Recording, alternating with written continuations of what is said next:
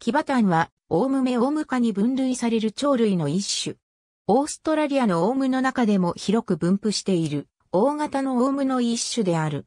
オーストラリアの内外でしばしば、ペットとして高い人気を博すが、オーストラリアの国葬地帯では、数が増えすぎ、害鳥とされている。しかし、オーストラリア連邦法規により保護された種であることから、駆除には政府の許可が必要である。特徴的な缶を広げた状態キバタンは外見がオーストラリアで見られる3種類のバタンインコによく似ている。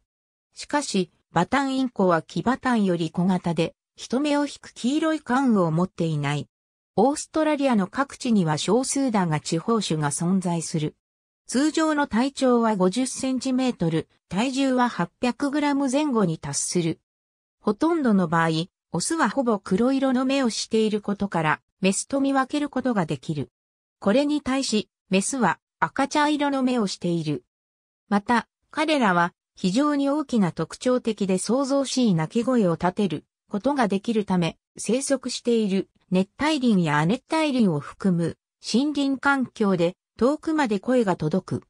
キバタンは非常に高い知能を持っているだけでなく、生まれつき好奇心の強い生き物である。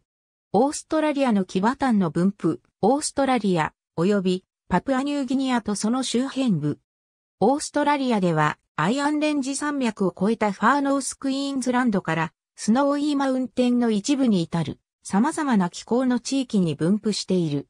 また、アデレードや南オーストラリア州南部にも生息。パース付近へは移入された。シンガポールにも移入されている。これらの鳥は土色の習性があることで知られている。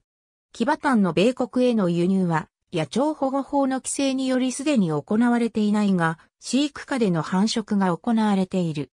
これらの鳥を飼育する場合は、とても想像しい他に、木材やその他の硬い有機物素材をかじりたいという自然の欲求を持っているため、目を離さずに深い注意を払わなくなくてはならない。